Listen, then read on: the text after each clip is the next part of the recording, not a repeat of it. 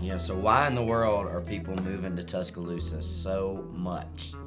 Welcome to all the people moving here.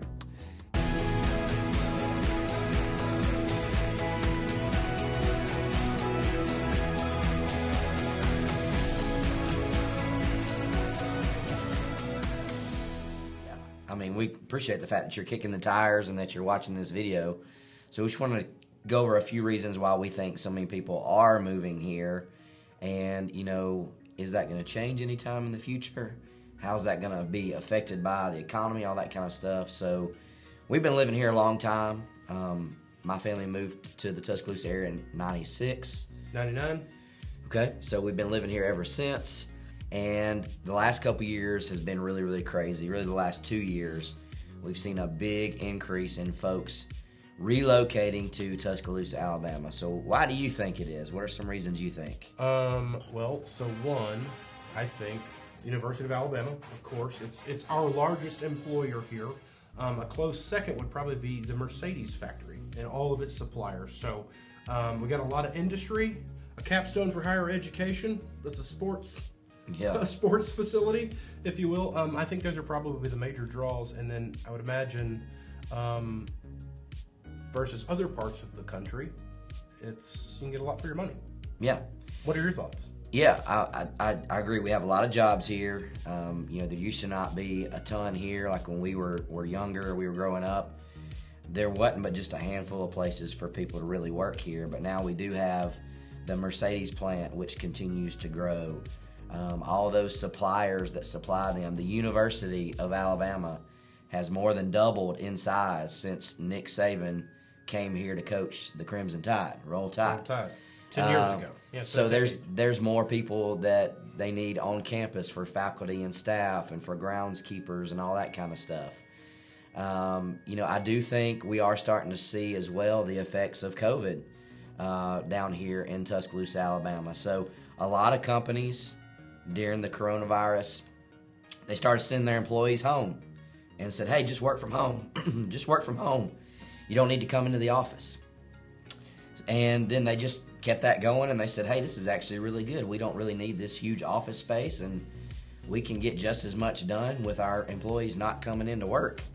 And so those employees were like, well, hey, I don't need to live 10 minutes away from downtown Denver, Colorado in a $800,000 townhome.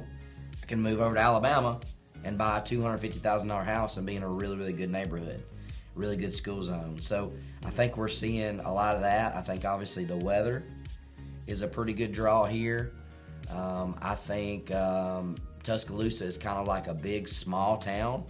So we have some of the bigger restaurant chains and retailers here that you would get in a big city without it actually being a big city. You know, I mean, you drive through downtown Tuscaloosa, there's five or six different blocks of like traffic lights and everything, and then you're through the city. So I think it kind of has that small town feel for folks that want that, but it's not so small town that there's nothing to do here. Right, and it's also close proximity to other places. So if if you're from a really big city like a Chicago or, or Los Angeles, I mean, this is going to seem like a tiny, tiny town um, for you guys. But it has a lot to do. But because it's close to Birmingham, which has even more to do, I think we're right at four and a half hours from the beach. So the Gulf Coast, we have an amazing Gulf Coast. Um, Florida, not only our beach, but Florida is really close. Um, Florida beaches are great as well. So um, we're just in a really good area where we have good, you know, it doesn't get super cold here, a good climate. Um, we'll, we'll get some tornadoes. Yeah, There will be a tornado. maybe this week. Yeah. Who knows? Yeah. Um, but we're I think I think we're in a great location and have a lot of accessibility to other places. We're three hours from Memphis. Um, we're about three hours from Nashville. Um, we're right at an hour from Birmingham and about four hours from the beach. So, and we're three hours from Atlanta. So you can be in a huge city, um, in just a, in just a half a day's drive. Yeah. Yeah, and there's tons of flights going out from Birmingham to Nashville, Atlanta to Dallas.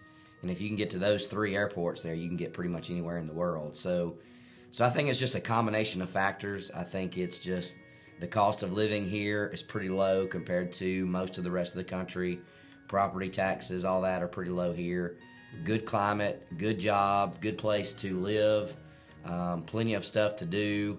It's not that huge, you know, metropolitan area that's just traffic like crazy and people like crazy. It's it's just a big small town, and and I think what we're seeing right now in Tuscaloosa is that it is growing, but it's growing out. It's growing out further, and so it's not really going up. We're not really seeing a whole lot of like skyscrapers and anything like that. I mean, what's the tallest building in downtown Tuscaloosa? Like Uh, ten stories, maybe. Maybe nine, maybe eight. Maybe, maybe. a bank, Trustmark. Yeah, it's a bank that's been there forever, and it might be ten stories tall, and that's the biggest building in town. So, so if you like, you know, that big small town feel, you still want to have access to plenty of places to go out to eat, to have fun, to go do fun things, um, but still kind of feeling like you're in a small town. Tuscaloosa is probably a good fit for you, and I think that's going to continue for quite a while. We got a lot of of land to stretch out on out here, so I don't think right. that's going to be changing anytime soon. And one thing you mentioned property taxes, just to give you an example, um,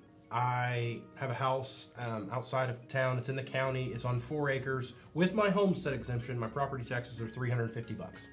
So for, for the year, for the year, not per month. correct. So some of you guys that are say in New York or whatever, that you know, that that's kind of like a joke to you guys. But Yeah. just to give you a real life example, um, four bedroom, three bath house um, on four acres, our property taxes are three hundred fifty bucks Yeah. per year. So, anyway, if you guys have any questions, feel free to drop comments.